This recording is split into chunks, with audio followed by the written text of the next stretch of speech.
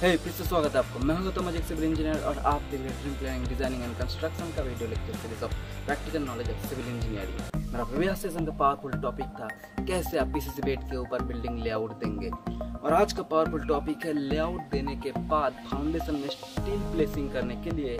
Steel का cut limit length कैसे calculate करेंगे? फाउंडेशन में स्टील कैलकुलेशन करने के लिए सेवन इंपॉर्टेंट डेटा रीड करना है फाउंडेशन ड्राइंग से। नंबर वन है फाउंडेशन साइज़ नंबर टू है फाउंडेशन थिकनेस नंबर थ्री है spacing of reinforcement number four है reinforcement diameter and number five है डेवलपमेंट लेंथ नंबर सिक्स है lap length and number seven है cover number one isolated foundation and combined foundation isolated and combined foundation में दो direction में steel placing किया जाता है। एक है मेन रेनफोर्समेंट और प्राइमरी रेनफोर्समेंट एंड दूसरा है सेकेंडरी रेनफोर्समेंट और डिस्ट्रीब्यूशन रेनफोर्समेंट सपोज़ फाउंडेशन का एरिया है 2.5 metre by 2.5 metre and thickness है 450 मिलीमीटर कवर है 50 मिलीमीटर एंड रेनफोर्समेंट स्पेसिंग है 200 millimetre and main and distribution reinforcement diameter है 12 मिलीमीटर सो कार्टिल में length of bottom bar equals to breadth of foundation minus two into cover plus two into foundation thickness minus two into cover minus two into two D और ये D जो है, ये diameter of reinforcement है, हर 45 degree angle के लिए D millimetre increase करता है length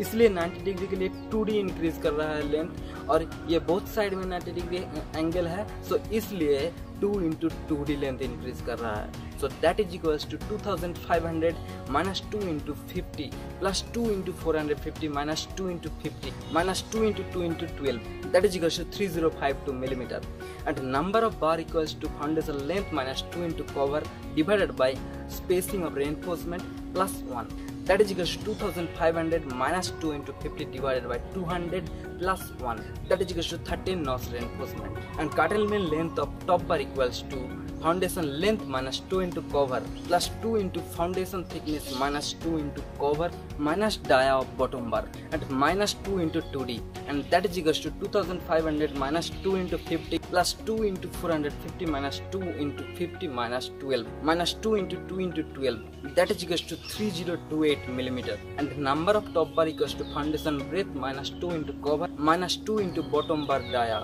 divided by spacing of reinforcement plus 1 that is equals to 2500 minus 2 into 50 minus 2 into 12 divided by 200 plus 1 that is equals to 12.88 equals to 13 नॉट्स so ये हो गया isolated और combined foundation में through bar का calculation number two है raft foundation raft foundation के bottom and top में दो रेनफोर्समेंट मेस प्रोवाइड किया जाता है. सपोज़ आपका रैफ्ट फाउंडेशन का साइज़ है 10 metre by 10 metre and thickness है 500 मिलीमीटर कवर है 50 millimetre and spacing 200 millimetre and main and distribution reinforcement diameter है 12 एम mm. यहाँ पे रैफ्ट फाउंडेशन का मैक्सिमम डायमेंशन है 10 मीटर और स्टैंडर्ड लेंथ ऑफ़ रेनफोर्समेंट होता है 12 मीटर सो so, यहाँ पे लैपिंग नहीं आएगा. सिर्फ़ एक मेस का top and bottom reinforcement calculation करना होगा. उसके बाद जो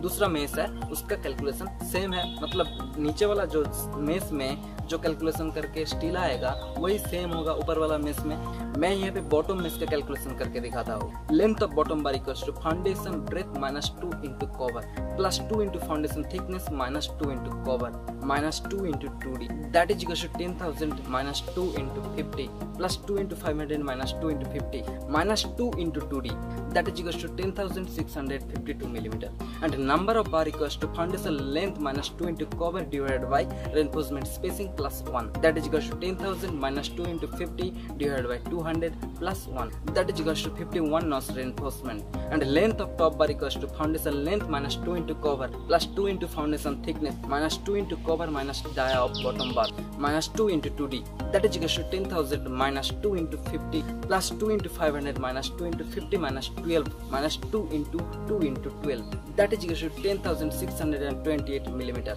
and the number of bar equals to foundation breadth minus 2 into cover minus 2 into bottom bar dia divided by spacing of reinforcement plus 1 that is equal to 10,000 minus 2 into 50 minus 2 into 12 divided by 200 plus 1 that is equal to also 51 knots so ये हो गया bottom mesh का calculation और top mesh का steel भी same है जैसे कि बॉटम मेस में है। सो so, ये मैंने सिर्फ़ थ्रू रेनफोर्समेंट का कैलकुलेशन बताया। आगे आगे डेप्थ में जाऊँगा। सो so, आज का सेशन यहाँ पे ही खत्म करता हूँ। और नेक्स्ट सेशन का पावरफुल टॉपिक है। अगर आपका रैप फाउंडेशन का साइज़ बहुत ही बड़ा है जैसे कि दो तीन लैपिंग आएगा तो उस केस में आप रेनफोर्समेंट का कैलकुलेशन कैसे करेंगे? कैसे आप कार्डल लेंथ प्रोवाइड करेंगे उस बड़ा सा रैप्ट के लिए? अगर अभी तक सब्सक्राइब नहीं किए तो जल्दी सब्सक्राइब कर लीजिए और साथ में बेल आइकन भी दबा लीजिएगा। नहीं तो ऐसे पावरफुल टॉपिक आपसे छूट जाएगा। और अगर वीडियो अच्छा लगा तो ज़रूर लाइक कीजिएगा और एक रिक्वेस्ट है आपसे। इस वीडियो को सोशल मीडिया का किसी भी प्लेटफॉर्म पर शेयर करके वायरल बना दीजिए। इससे क्या होगा? जिस जिस नॉलेज का ज़रूरत है, उसके पास इजीली पहुँच जाएगा। मेरे चैनल को सब्सक्राइब करके बेल आइकन को दबाने के लिए और मेरे चैनल में आके वीडियोस को बार बार देखने के लिए और वीडियोस देख के हर बार की तरह लाइक बटन में प्रेस करने के लिए सच दिल सबका बहुत बहुत धन्यवाद।